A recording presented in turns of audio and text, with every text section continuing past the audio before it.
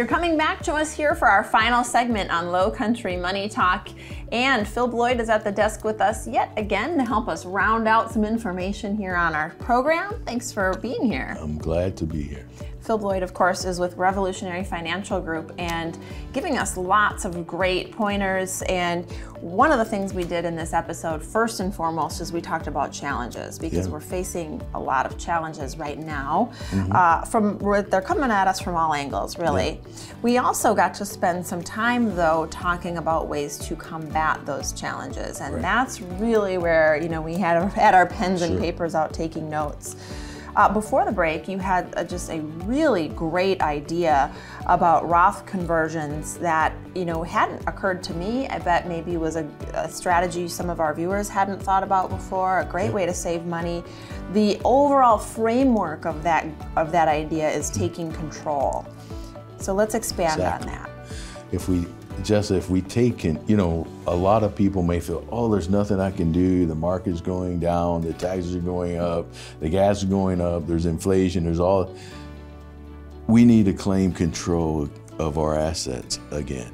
So we need to be proactive. You know, we can sit here, and a lot of times I point out the negative things because I want to get your attention so that you focus on some things that maybe you can do. But there's solutions. And if we say, no, you know, I'm going to be in control of my destiny. You know, it gives us that confidence and we can put that doom and gloom behind us and say, no, I have a plan. You know, we can always plan on the, the government wanting more taxes, but what are we going to do about it? Yeah. There's things we can do about it. Right. So, in the environment that we're in, you know, we had 13 great years of growth. Everybody's enjoyed that. We've got a little complacent uh, it's not going to be that way going forward. So most economists are predicting, you know, that, that those years as far as those big growth, may be a little behind us for now. So the idea would be is not to, to be all doom and gloom, but to reclaim control of your retirement and have the plan and the strategy behind it. Right. And I think to your point, and whether or not you would say so, but I'll say so, that a lot of advisors really do get a little bit, you know, I hate the term, but lazy, and we just sort of get the picture of here's where we're at here's where you'll be in you know x number of years and don't really take the extra step of taking control, having a, a, true strategy to save you money in the future, save you money on taxes, combat, you know, inflation, all of these things that are coming at us, government spending, yeah. and how that's affecting us. So you really are taking that extra step that is key in our portfolio management.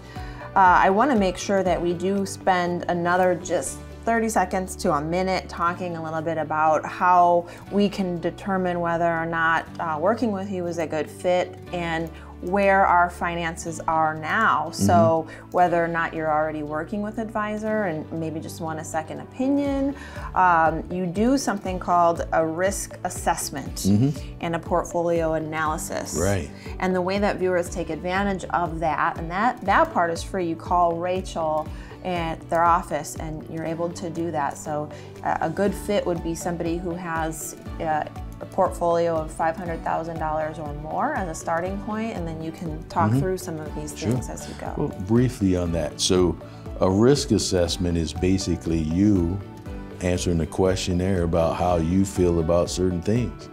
And then it, it says, okay, this is you know, it's a computer program. We pay a lot for it, but it's a computer program, and it comes up with a number, and you're like, wow, I, am actually a little more aggressive than I thought, mm-hmm. based upon how you feel about things. Right. Uh, the portfolio analysis is basically going to say, this this is what I have at risk. This is how it's doing to different benchmarks, and this is how much it's costing me. So going back to what can we do to be more proactive? If we can arrange our portfolio and our income where we're paying less in taxes, depending on where we're taking our withdrawals from, um, if we do some conversions to get our taxes prepaid, so later we'll have that tax-free dollar. If we're paying, uh, if we want to take money out of an asset and pay capital gains tax, which may be lowering our income tax, that may be one thing. Or if I have too much in my savings that I already paid tax on, that I can take that and not affect my portfolio at all. Or can I lower the expenses of my investments? We're in challenging times. We need to know how we can make our dollar more effective and take control and then we'll be more confident. And that's what's so brilliant about the way that you strategize. A, you have a, a very intelligent strategy based on each individual, uh, and you really set aside time to be proactive and make those uh, assessments and moves for the individual. So I, have enjoyed learning from you. I, this has been a wealth of information. Thank you for All right. having us. I enjoyed it. Take control of your finances, there okay? You we'll leave it at that. We'll see you mm-hmm. next time.